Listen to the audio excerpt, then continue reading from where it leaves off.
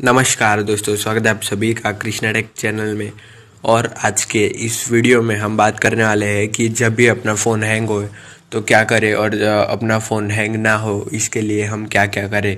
सो दोस्तों, वीडियो काफ़ी यूज़फुल होने वाली है। वीडियो को एंड तक देखते रहना, क्योंकि आप एंड तक देखोगे तो ही आपको वीडियो पूरे तरीके से समझेगा और आपका फ़ोन हैंग नहीं होगा।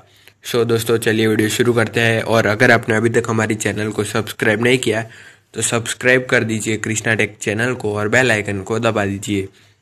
सो so, दोस्तों यहाँ पे हमें सबसे पहले सेटिंग्स में चले जाना है और सेटिंग्स में जाने के बाद अभी हमें कुछ ऐसा इंटरफेस दिखाई देगा।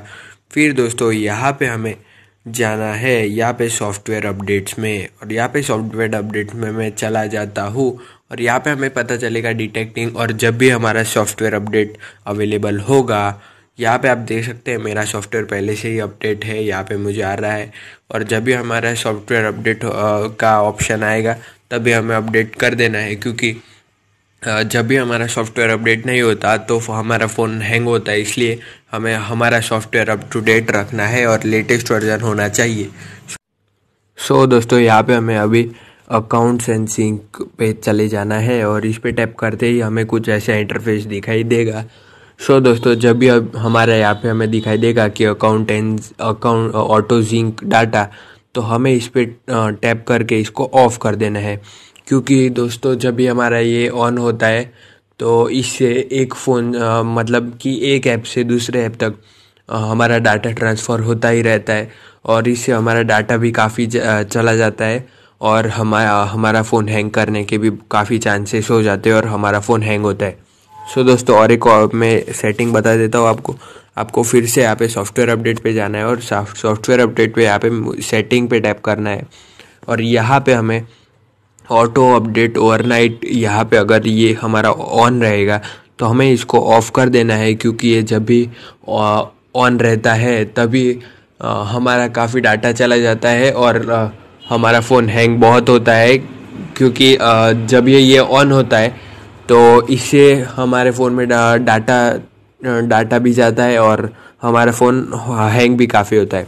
और दोस्तों जब भी हमें यहाँ पे नेट की आवश्यकता नहीं होगी तभी हमें यहाँ पे नेट ऑफ़ कर देना है क्योंकि जब नेट से ही फ़ोन हैंग होता है क्योंकि ज़्यादा देर तक हम नेट ऑन रखते हैं तो हमारा फ़ोन हैंग होता है।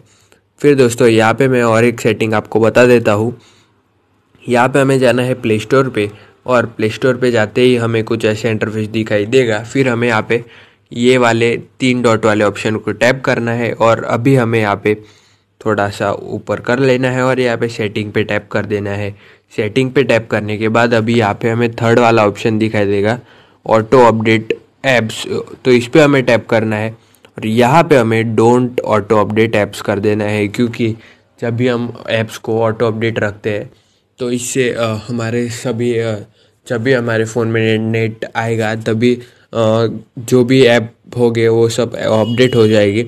इसलिए हमें इसको don't pay, don't auto update apps पे ही रखना है, क्योंकि उससे हमारा फ़ोन भी काफ़ी हैंग होता है। इस पर फिर डन कर देना है हमें। और यहाँ पे ऑटो प्ले वीडियोस ये भी है, इसे भी हमें डोंट ऑटो प्ले वीडियोस कर देना है, क्योंकि इससे भी हमारा फ़ोन हैंग होता है। और जो जो प्रॉब्लम से हमारा फ़ोन हैंग होता है, हमें वो नहीं होने देना। फिर यहाँ पे, दोस्तों, और एक सेटिंग में आपको बताने वाला हूँ। तो फिर दोस्तों, यहाँ पे हमें क्या करना है कि जो भी हमारे फ़ोन में प्री इंस्टॉल्ड ऐप्स हो गए, या फिर इंस्टॉल्ड ऐप्स हो गए, जो हमें नहीं मतलब जो हम यूज़ नहीं करते, हम कभी उसका यूज़ नहीं करते, फिर भी वो हमारे फ़ोन में हो गए तो हमें सिंपली वो ऐप पे चले जाना है। जैसे कि यहाँ पे मुझे ये प्ले म्यूज़िक है, मैं उसको कभी यूज़ नहीं करता तो मैं उस पर टैप कर दूँगा। और यहाँ पे हमें कुछ ऐसा इंटरफेस दिखाई देगा। फिर यहाँ पे हमें ऐप इन्फॉर्मेशन पे चले जाना है। और फिर हमें कुछ ऐसा इंटरफेस दिखाई देगा। सो दोस्तों, फिर हमें यहाँ पे इसे अनइंस्टॉल कर देना है या फिर फोर स्टॉप कर देना है। तो मैं इसे अनइंस्टॉल कर देता हूँ क्योंकि मुझे इसकी ज़रूर ही नहीं है। और यहाँ पे मैंने इसको अनइंस्टॉल कर दिया है क्योंकि वो मुझे नहीं चाहिए था। तो दोस्तों, ऐसे ही ऐप काफ़ी सारे होते यहाँ पे जैसे कि आप देख सकते हैं गेम सेंटर है। ऐसे काफ़ी सारे ऐप्स हो गए।